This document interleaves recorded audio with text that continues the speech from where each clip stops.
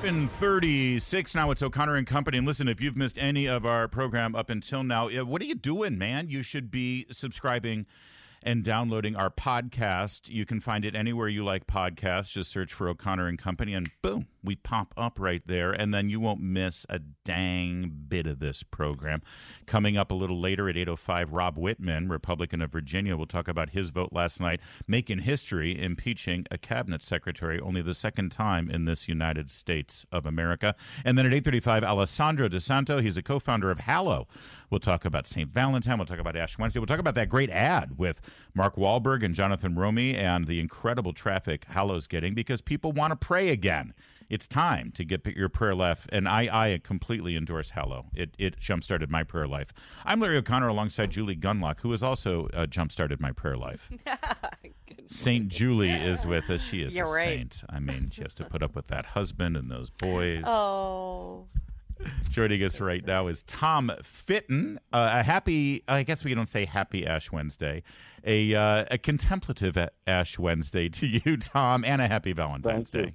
You too. You too. Thank you, Larry. Thank you, Julie. Listen, um, amazing timing for you at Judicial Watch, Tom, where on the same day we had this uh, finally successful vote to impeach Alejandro Mayorkas. You have uncovered some stunning information thanks to a Freedom of Information Act lawsuit that you put forth about Mayorkas and his involvement with the uh, Kennedy campaign.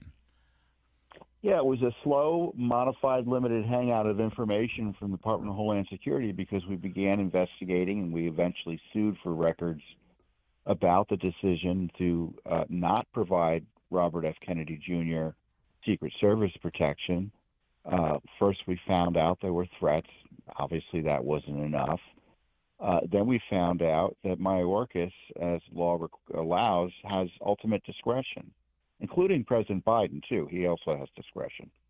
And uh, confirmed finally, thanks to our FOIA lawsuit, that Mayorkas personally rejected uh, the request uh, to provide him Secret Service protection. Hmm. So Mayorkas did it. And, you know, the fact that Secret Service protection is even available to candidates is a result of Kennedy's father being murdered. And the idea that the Biden gang wouldn't give him the protection to me is dangerous and vindictive and the worst type of politics. Is that what do you expect will be the excuse from the department and Mayorkas for this action? Oh, they have they have all you know when you look at the internal process that they pretend to abide by, uh, which they largely redacted from us.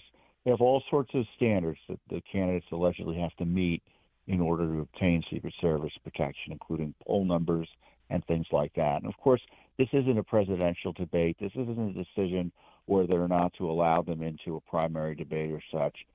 This, to me, you have to use your head. His last name is Kennedy, yeah. Yeah. And let's just be sensible about it. He's obviously going to be a target simply in light of his last name, an, an elevated target.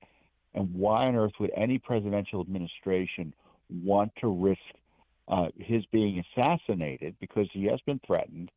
Uh, what what is the harm in providing him the Secret Service protection? And I think we all know what the harm is. It elevates his candidacy in a way that might harm Biden's tottering campaign. Yep, that's hundred percent it. I again, none of no one here is suggesting that they want, God forbid, something to happen to Robert F. Kennedy Jr.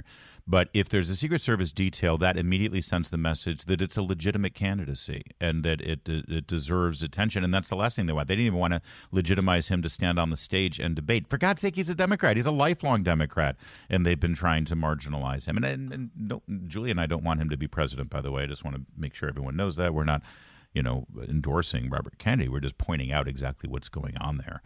Um, Tom, while I've got you, because listen, you and I had a conversation practically daily, certainly weekly, during the throes of the Russian collusion hoax back during the Trump administration. And the line had always been that the FBI was alerted by an Australian uh, intelligence agency that the that um, that George Papadopoulos had been talking about and bragging about the Trump campaign having Hillary's emails through the Russians. I'd love for you to comment on the reporting from independent journalist Michael Shellenberger yesterday that now says, according to close uh, sources that are close to the Intelligence Committee, that it was John Brennan CIA, under the direction of Barack Obama, one must assume, who actually asked our allies in Australia and other agencies, the Five Eyes, to go out of their way and spy on 26 different members of the Trump campaign, to bump them, to interact with them, and then report back to the CIA. This all began at the direction of John Brennan's CIA. Yeah, it would be no surprise to me if that turned out to be true. It'd be consistent to what with what happened. Let's just look what we know. Christopher Steele, who was the Clinton campaign vendor, was an F, was a British intelligence guy. Yeah. Are we expected to presume they had no idea what he was doing? I don't buy it. And of course, given the role of, uh, as you highlight, the Australian government in this attempt to target Trump, uh, Plus, by the way, the Ukrainians were messing around too, as you may recall mm-hmm. from uh, uh, in 2016. So the question is, who wasn't spying on Trump? And this is what I think is very interesting about this new argument that they've made up out of whole cloth that we can now prosecute presidents for their official acts in, in office.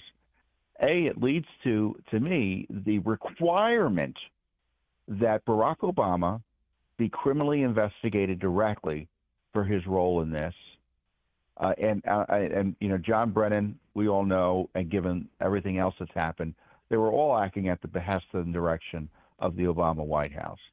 So my view is, if Trump's going to be prosecuted, Obama must be prosecuted, certainly investigated for prosecution for for these crimes against American citizens like Joe, like President Biden. That is a brilliant me, observation. President Trump, excuse me. Yes, a brilliant observation, Tom Fitton. And uh, I, I, didn't know where you were going to go with that, and I'm so glad I asked you about it because I know that you're one of the few people who followed that story so deeply, and it's still unfolding, by the way. And since they did that in 2016, Tom, and since they did the the cover up over the Hunter Biden laptop story before the 2020 election, I know that your eyes are wide open and you're watching to see what they're because they will try something they will try something this election year, and the media will go right along with it because they're part of the scandal on a regular well, basis. Well, they're trying to they're trying to the same agencies are trying to jail Trump now. Yeah, you know, it's never stopped. It's never well, stopped. And it's why we need Judicial Watch. That's why we need Tom Fitton to be there uh, to continue to keep an eye on this stuff. Great, great reporting, or great discovery, I should say, more accurately, on this uh, Mayorkas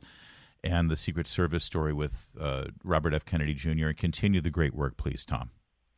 You're welcome. Thank you. It